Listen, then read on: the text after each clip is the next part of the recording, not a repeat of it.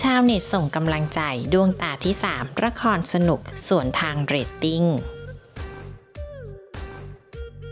ลงจอมาได้ 3 ตอนแล้วสำหรับละครดวงตาที่ 3 ทางช่อง 3 HD ละครผีเฮฮาทั้งขำทั้งหลอนนำแสดงโดยเจมมาและมิวนิฐาโดยผู้จัดหน่อยบุษกร และผู้กำกับเหมียวประวันรัต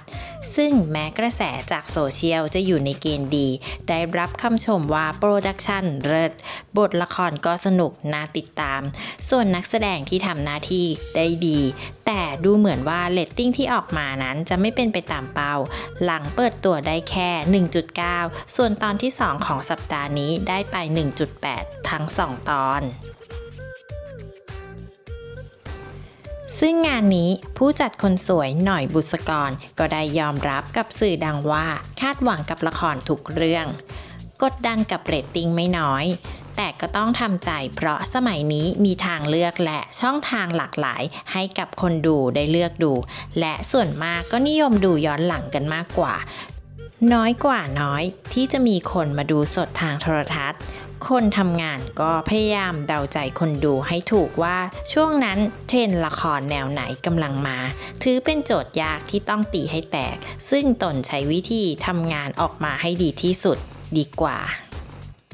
ด้านชาวเน็ตก็ส่งกำลังใจให้รัวๆ บอกละครสนุก แต่ที่เรตติ้งไม่ดีคงเพราะชนกับละครสายแข็ง ช่องคู่แข่ง เชื่อว่าเดี๋ยวก็สามารถขยับขึ้นมาได้อีกแน่ ๆ ตัวอย่างเช่น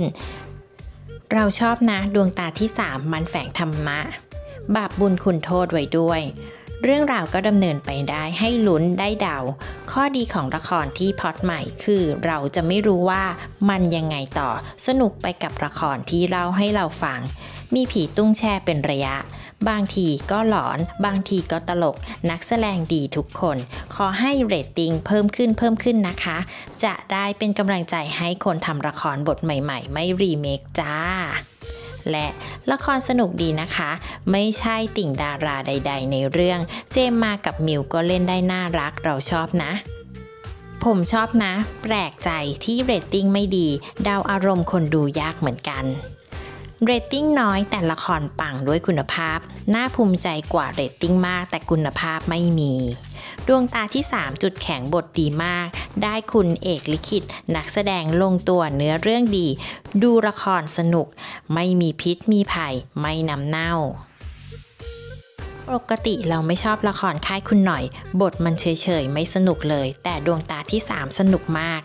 ตกใจเรตติ้งเหมือนกันว่าทำไมน้อยจัง แต่คิดว่าน่าจะค่อยๆ ขยับขึ้นใน EP ต่อๆไปเป็นต้น และเพื่อที่จะไม่พลาดคลิปใหม่ๆ อย่าลืมกดติดตามค่ะ